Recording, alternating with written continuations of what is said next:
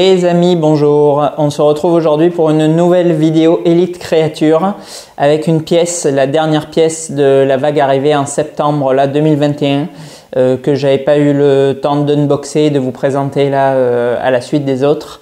On va voir aujourd'hui après euh, la maquette qui était tout bonnement incroyable. J'en parlais d'ailleurs avec un, gros collectionneur new-yorkais dans la semaine qui a réussi à récupérer la dernière pièce apparemment en stock chez Elite. Euh, directement dans les usines. On va voir aujourd'hui le buste euh, du coup de la forme de l'eau. Alors la maquette, bon on l'avait vu, c'était une pièce euh, tout bonnement hors norme. à mes yeux, des statues toutes marques confondues. la pièce la plus folle que j'ai vue au jour d'aujourd'hui. Il y a certes quasiment aussi lourd, il y a plus gros en hauteur, en profondeur, en largeur mais honnêtement tout réuni entre euh, voilà l'aspect artistique, euh, le poids, la limitation, l'imagination qu'il a fallu pour cette pièce, je trouve que c'est aujourd'hui la pièce euh, la plus démentielle que, j'ai pu voir. Alors pas forcément ma préférée ou la plus belle statue existante, c'est pas ce que je dis, mais en, termes voilà de, de, de, je pars en cacahuète pour rester poli, je trouve que c'est vraiment la pièce la plus la plus folle quoi. Alors, le buste euh, qui avait été présenté euh, en même temps, euh, il est arrivé ben, dans la même vague, cette vague de septembre 2021 qui a été aujourd'hui la dernière vague livrée. J'ai eu d'ailleurs des infos hier, vraisemblablement en Europe, puisque là, dans le reste du monde, les livraisons ont commencé. Mais en Europe, la prochaine vague devrait être en juillet. Elle devrait contenir du coup le buste et la maquette du faune donc ils vont réitérer l'opération, c'est-à-dire avec les quantités, euh, les, petites quantités qu'ils vendent en Europe, ils vont grouper du coup plusieurs modèles dans le même conteneur par bateau et vraisemblablement ce sera en juillet qu'arriveront les pièces. Alors il devrait y avoir donc à coup sûr la maquette et le buste du faune, ça c'est une quasi certitude. Euh, après pour les deux autres pièces encore en précommande chez Elite Creature, à savoir Tricana et euh, la maquette de la méduse, c'est pas certain. Je pense personnellement qu'il y en aura une des deux. Je penserai plus, euh, je pencherai plus pardon pour la maquette de la Méduse, mais euh, pour le moment il n'y a rien de confirmé. Enfin, en tout cas, je ne suis pas au courant si, jamais c'est le cas. Alors, on voit aujourd'hui ce buste euh, de la forme de l'eau. un buste, bon, encore une pièce assez, assez gargantuesque, assez impressionnante et dans le détail, et dans la conception, et dans le poids. Euh, en termes de poids, j'avais euh, beaucoup de mal. Bon, alors après, vous le savez, je suis pas musclore, mais encore beaucoup de mal à l'unboxer, à la mettre en place et compagnie. Alors bon, c'est sûr qu'avec la maquette, on était sur 88 kg, donc clairement quasi, euh, intransportable pour la plupart des collectionneurs, tout seul en tout cas. Là, bon, c'est portable seul, mais c'est quand même très très lourd. Euh, à titre de comparaison, parce que je sais qu'il y a quand même peu qui collectionnent Elite là dans, les gens qui me suivent. Euh, voilà, si vous avez déjà porté par exemple des, bustes Queen Studio, que ce soit, je le Hulk, le Iron Man, des choses comme ça en résine pleine c'est quand même déjà vraiment bien bien lourd ou les très gros produits Prime One. Bon, là on a encore un bon cran au-dessus. Alors je ne saurais pas vous dire quelle technicité de résine ils utilisent. On parle tout le temps de différents mélanges, de résine creuse, de résine pleine. Bon, je, honnêtement, j'en ai aucune idée. Mais euh, c'est encore quand même un bon cran plus lourd que, euh, les autres produits euh, que j'ai l'habitude de vous présenter. Alors bon, est-ce que ça a une utilité à part se couper le dos en quatre? Je ne sais pas vraiment. en tout cas, bon, je vous parle, enfin, je vous parlais à l'époque dans les vidéos Elite Créature de rapport prix-poids. Bon, là, il n'y a aucun souci, on y est, il n'y a vraiment pas de problème. Euh, en termes de limitation, alors de ce à quoi moi j'ai accès, après je ne suis pas non plus la base euh, européenne euh, absolue de, d'élite créature, mais de ce à quoi j'ai eu accès, c'est le seul buste que j'ai vu arriver chez PBM Express. Alors après, voilà, il y a peut-être des, très certainement même des produits, que je ne vois pas. Donc je, je voilà, dis pas que c'est le seul produit en Europe. Euh, en tout cas chez PBM, puisque c'est aussi distribué par EO, Elite Créature. Euh, mais en tout cas, je pense qu'il y en a eu vraiment très peu. C'est un produit que j'ai quasiment pas vu dans les collections européennes, peut-être un ou deux exemplaires à tout péter. Euh, pas mal de collectionneurs américains et asiatiques. Là, j'ai le numéro du coup 72. Donc vraisemblablement, je dirais que la production elle doit s'étendre à 80-100 pièces grand maxi. 399 exemplaires euh, sur ce buste annoncé lors de la précommande. Comme d'habitude avec Elite Creature, on va pas rappeler le, système de, fabrication, euh, ils ne fabriquent qu'à la demande. Donc 399, jamais de la vie, ils y sont. Ils sont, comme je vous le dis, voilà, je pense à tirage maxi de 80, moi je dirais, voire 100 exemplaires. Donc on a une fois de plus ben, un buste qui est extrêmement limité, une pièce qui est rare dans les collections et qui en plus de son atypicité se veut vraiment vraiment euh, peu courante. Quoi. En termes de conception, alors en termes de conception, ils ont repris bien évidemment le code stylistique de euh, la créature de la forme de l'eau, où ils reprennent du coup l'espèce de, baignoire d'aquarium dans laquelle euh, ils siègent.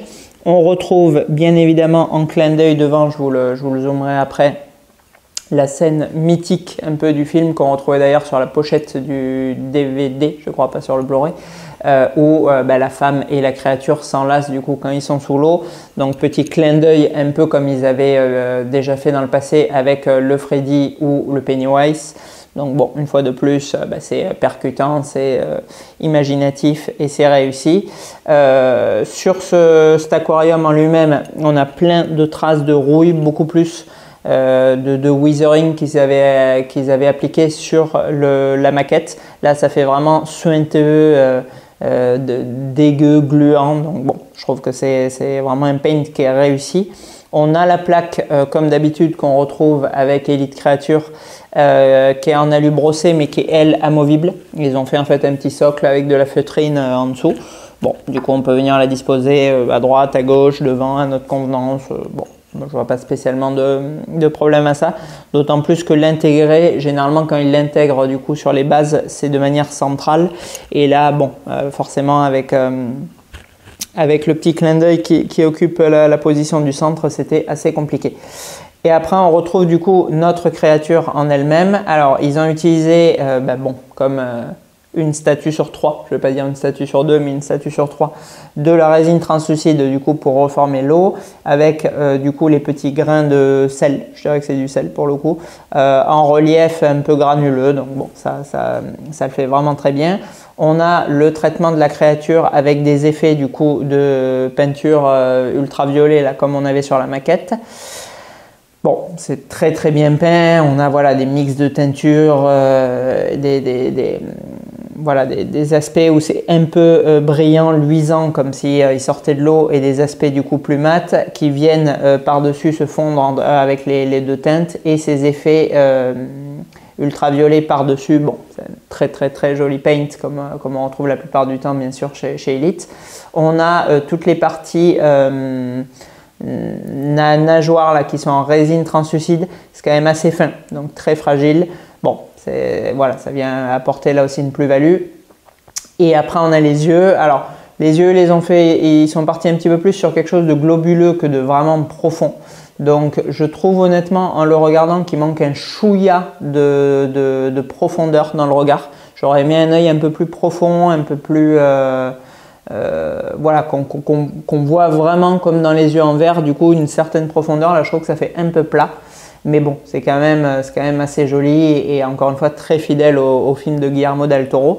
Euh, la principale euh, critique que j'émettrais, en tout cas chose qui m'a euh, interpellé quand j'ai déballé le buste, c'est la taille. C'est la taille, je le trouve un petit peu downscalé, honnêtement je le trouve petit.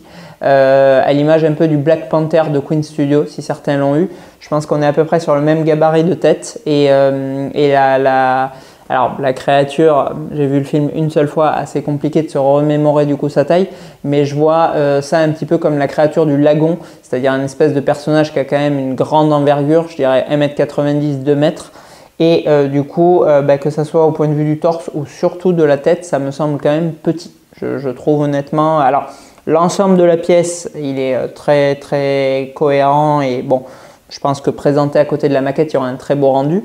Euh, maintenant, le buste en lui-même, euh, il me paraît quand même un chouïa petit. Voilà, donc euh, bon, assez, assez compliqué à vérifier parce que bon, déjà quand c'est des créatures très connues comme les prédateurs, les aliens et compagnie, bon, c'est assez hard de trouver les dimensions. Bon là, avec quelque chose d'aussi exotique que la, la forme de l'eau, forcément, c'est pas simple. Mais, euh, mais bon, moi ça me, ça me semble un chouillard écrète. Voilà. Donc bon, une pièce, alors on verra en, conclusion, mais une pièce qui est bien évidemment réservée aux aficionados. Euh, voilà, le film est extrêmement confidentiel. La maquette, bon, de par ses, ses proportions gigantesques là, elle avait euh, du coup interpellé certains collectionneurs. un peu attirés justement par ce gigantisme, quoi, cette, cette espèce de pièce hors norme. Bon, là on a un buste qui est certes très atypique pour la créature et euh, quand même la conception, même s'il rappelle un petit peu les anciens bustes élites. Euh, mais on a quelque chose de entre guillemets quand même plus conventionnel. C'est sûr que la, maquette elle dénote beaucoup plus que le, enfin elle détonne plutôt beaucoup plus que, le, que ce buste. Quoi. Donc je pense que bon, il, voilà, c'est aussi pour ça qu'il a été euh, moins préco et, et qu'on le retrouve au final dans encore moins de collections parce que c'est vraiment, vraiment spécial. Il faut vraiment être un grand fan ou de Del Toro ou de Elite Creature pour, pour faire cette acquisition. Allez, on va zoomer un petit peu tous les détails et puis après on verra ben, où en sont euh, Elite. Puisqu'on est aujourd'hui, je tourne la vidéo le 20 mars 2020, donc euh, apparaîtra sûrement, je sais pas, euh, en avril. Mais voilà, bon, est-ce que Monster Palooza, ils seront là? Peut-être avant que la vidéo sorte, du coup, on aura des, nouveautés, mais je vais vous parler du coup de, de ce qu'au jour d'aujourd'hui, il y a. À tout de suite. Allez, on est parti du coup sur le zoom euh, de la pièce. Donc bon, on voit qu'on a une base, ben bon, déjà qui est pas rectangulaire simple, mais qui est quand même relativement spécifique. Où on a bon, ces effets de salissure là dont je vous parlais, qui, vont très très bien avec euh, l'ambiance du, film. On a ensuite la plaque juste là, qui est euh, bon, elle fait le job quoi, elle est, simple, elle est classique. Devant, ben, je vous le zoomerai après, ils nous ont mis du coup la scène emblématique euh, du film. Et après, lorsqu'on se rapproche du coup du personnage, on a comme souvent avec Elite Créature l'emploi de résine là, euh, translucide qui donne cet effet de, de vague là, euh, de d'eau visqueuse avec les, les petits grains qui flottent et ce traitement de la peau qui est quand même vraiment vraiment magnifique quoi. Donc on alterne entre des parties mates et granuleuses comme sur le haut des épaules avec des parties euh, voilà beaucoup plus lisses et gluantes qui donnent vraiment vraiment l'aspect euh, que, que, la créature vient de sortir de l'eau Voilà et après on a toujours euh, sur le haut là ces fondus de couleurs qui sont quand même euh, vraiment très très réussis. Emploi de résine translucide du coup pour les parties de nageoire. Et ensuite les yeux. Alors les yeux, moi je trouve voilà qui fait un peu inerte. Bien aimé un travail vraiment plus profond. Mais bon, c'est quand même, euh, quand même vraiment convaincant. Et on a voilà, un magnifique euh, travail sur l'ensemble de la pièce. Quoi. Allez, je vais vous éteindre du coup euh, les lumières. Et on va, on va regarder voilà, les effets de, de peau comme, euh, comme ils avaient déjà fait avec la maquette. Et surtout voir l'intérêt central de cette pièce quand, quand elle est allumée. Quoi. Allez, donc bon, on n'est pas dans le noir complet. Mais bon, ça suffit du coup pour voir le light up. Light up, bien évidemment, qui scintille, c'est-à-dire euh, qui va se rétroéclairer et fluctuer. Et euh, du coup, bah, les formes, euh, la forme de l'eau et la forme de la femme qui la délivre, quoi. Voilà, donc bon. Ça, c'est quand même vraiment bien, bien classe. Et après, lorsqu'on repasse sur le buste, alors voilà, bon, on n'est pas dans le noir, mais ça suffit du coup pour voilà tout, le, tout le travail qui va mettre du coup en valeur euh, cette pièce. Si je vous l'enlève, le corps. quand même vraiment très beau, ça rappelle bien sûr Avatar quoi. Et le visage. vraiment quelque chose de, de magnifique sur. Euh, sur ce paint ultraviolet quoi. Allez, donc on l'a vu sur ce zoom, bon, c'est quand même encore un, sacré taf d'élite créature. Euh, pour tous ceux voilà, qui aiment cet univers euh, vraiment qui travaille depuis le début de la marque avec des pièces tout le temps euh, plus imaginatives et atypiques les unes que les autres. Je pense que ce buste, une fois de plus, il s'intègre parfaitement dans ce type de collection. Et, et, dans la globalité du coup de la gamme qu'ils ont produit jusqu'à présent, je trouve qu'on a vraiment une très grosse cohérence. Et, et bon, moi j'aime beaucoup beaucoup ça. Vous savez, cette espèce de d'uniformité en fait dans une ligne, mais avec des pièces qui sont extrêmement différentes, mais avec une espèce de, je sais pas, de patte artistique qui les connecte toutes ensemble. Donc euh, bon, moi je suis toujours, euh, voilà, toujours aussi fan vraiment de, de la marque. Et c'est vrai que bon, là ils ont l'air vraiment au bout du bout du bout. Alors, qu'est-ce que, que je pense du coup qui va advenir d'Elite Creature On va le savoir, je pense, d'ici quelques jours, parce que le Monster Palooza il est vraiment euh, prévu pour dans pas longtemps. Est-ce qu'on va avoir des nouvelles pièces? Alors, on a vu des images du coup de Nixforge, le studio d'effets spéciaux de Steve Wang, là, euh, où il présentait quelques statues. Alors, on l'a vu euh, notamment en photo, où derrière lui, bah, je, vous mettrai du coup la, miniature, derrière lui, on voyait une espèce de truc à poil. Donc, bon, pas l'un des bustes existants aujourd'hui. Je, je, serais tenté de dire l'un des loups-garous. peut-être le loup-garou de Londres ou, ou, quelque chose comme ça, puisque ça, ça y fait vraiment penser.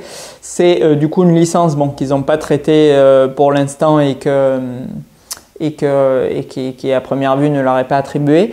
Après, on a, bon, ben, comme d'habitude, les, les, réalisations euh, spécifiques propres du coup à leur marque. Je vous mets aussi là une photo du coup du début de la vidéo où on voit cette espèce de créature qui avait été présentée à plusieurs reprises. Euh, qui est apparemment en phase finale, je pense, de, conception au niveau du proto. Et euh, on retrouvait enfin euh, une troisième pièce, à savoir un orc, très, très, très vraisemblablement tiré de World of Warcraft. Ça ressemblait comme deux gouttes d'eau à un des chefs orcs de WoW. Euh, bon, là aussi, ça avait l'air quasi finalisé. Euh, un buste, du coup, de, de, de un buste tête de, d'orc, où là, on voyait carrément, du coup, bah, Steve Wong euh, avec, enfonçant sa main dans la gueule du buste et retirant la langue, donc avec une espèce de partie amovible, une interaction qu'on avait déjà retrouvée, par exemple, sur, le buste Méduse. Donc, bon, à première vue, je serais tenté de dire, alors bon, la, création, d'origine, ça assez dur à dire, mais le buste de euh, lui, bon, je pense qu'il y a des grandes, grandes chances euh, à première vue qu'il soit proposé en précommande. Bon, après, euh, où, en est la, où en est la marque financièrement et, et est-ce encore rentable du coup pour eux de continuer à produire des, des produits dérivés? Bon, ça j'en suis beaucoup, beaucoup moins sûr parce qu'on l'a vu, toutes les dernières créations d'Elite Creature, quand c'était tiré de licence, ben, on avait des tirages qui avoisinaient les 100 pièces, donc c'est quand même extrêmement bas et très très dur à rentabiliser, je pense. Euh, et euh, lorsque c'était leur propre euh, ligne, Bon, mais là, c'était encore pire que ce soit les, gammes mythologiques ou les gammes aliens. quasi personne ne les achète parce que c'est encore plus confidentiel. Quoi. on avait aussi la collaboration avec Paul Anderson, mais bon, là aussi, avec Wayne Anderson, pardon. Mais, là aussi, bon, ça, se vend vraiment au compte-gouttes. Donc bon, tout réuni, euh, je, les vois quand même euh, relativement mal partis, je pense. Quoi. Mais bon, on, le saura euh, incessamment sous peu. Dans tous les cas, on découvrira ensemble, ben, si jamais c'est fini, les quatre dernières pièces de la marque, à savoir la maquette de la Méduse, Tricana, qui a l'air complètement dingue, et les deux pièces du labyrinthe de Pan. Alors la maquette, elle a déjà été livrée et unboxée dans une vidéo. Bon, ça a l'air quand même, je trouve, pour du élite assez simple, assez petit, euh, pas trop d'envergure, quelque chose de plus poétique et artistique euh, avec, euh, avec moins de florilège autour. Bon, moi je suis un peu moins fan sur, sur ce que j'ai vu, à voir en live, mais bon, on a un prix qui est quand même vraiment bien salé pour les maquettes élite créatures. Bon, c'est vrai que c'est toujours bien d'avoir 50 kg de résine et et la moitié d'un appart en background euh, plutôt que vraiment un, socle, un socle tout, rond, tout simple pour, euh, pour 2500 balles. Je trouve que bon, quand même euh, plus cohérent, mais bon, on verra, on verra ce que ça donne.